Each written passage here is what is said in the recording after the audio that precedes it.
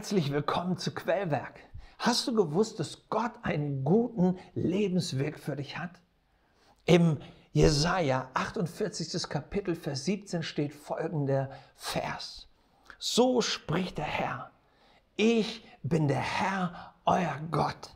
Ich lehre euch, was gut für euch ist und zeige euch den Weg, den ihr gehen sollt. Gott hat einen guten Weg für dich. Wahrscheinlich kennst du dieses Gedicht von diesem Mann, der mit Gott unterwegs ist. Man nennt es Spuren im Sand. Und er sieht immer zwei Spuren, Gott und seine. Aber im Rückblick auf sein Leben entdeckt er plötzlich, dass es auch Phasen gab, wo nur eine Spur zu sehen ist. Und er reflektiert das und stellt fest, das waren die Phasen, wo es ihm richtig dreckig ging. Und er wendet sich an Gott und sagt, Gott, wieso hast du mich in den schwierigsten Phasen meines Lebens alleine gelassen? Denn da sehe ich ja nur eine Spur. Gott schaut ihn an und sagt, mein Sohn, da, wo du die eine Spur siehst, da habe ich dich getragen.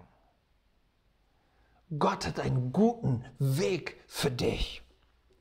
Im Psalm 143, Vers 10 heißt es, führe mich durch deinen guten Geist dann kann ich ungehindert deinen guten Weg gehen.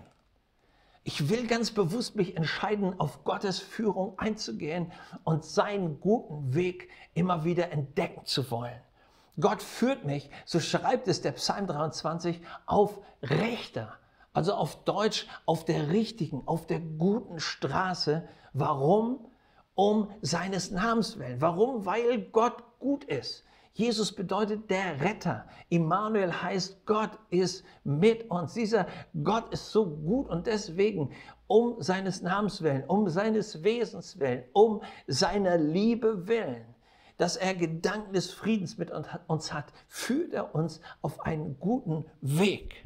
Und dazu gibt er uns den besten Reisebegleiter, den besten Freund, einen Tröster, einen Helfer, wie es ihn nicht besser gibt, nämlich den Heiligen Geist, der bei uns und in uns ist.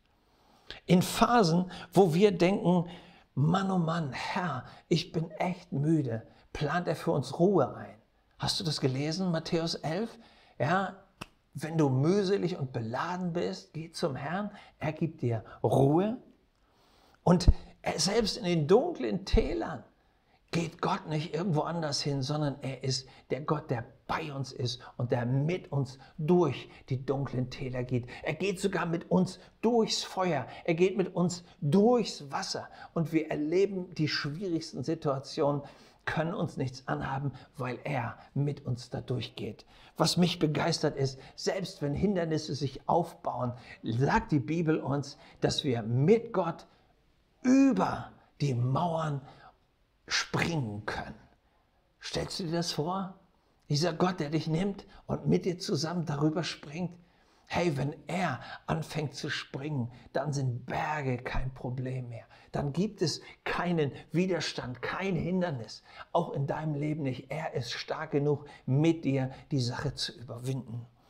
Und ich liebe das, dass die Bibel sagt im Jesaja, dass Gott sogar Wege in der Wüste hat.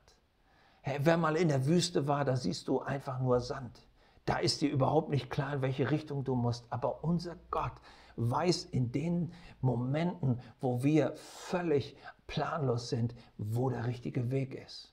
Und mir gefällt das.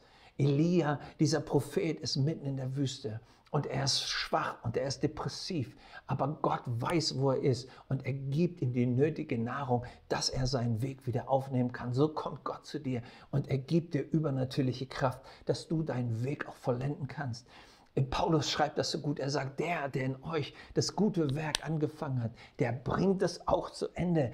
Glaub daran, Gott ist mit dir auf deinem Weg und er bringt dich auch zum Ziel. In einem alten Lied heißt es, selbst durch die Nacht wenn für uns es nur noch schwarz ist, weiß Gott den richtigen Weg und bringt dich nach Hause.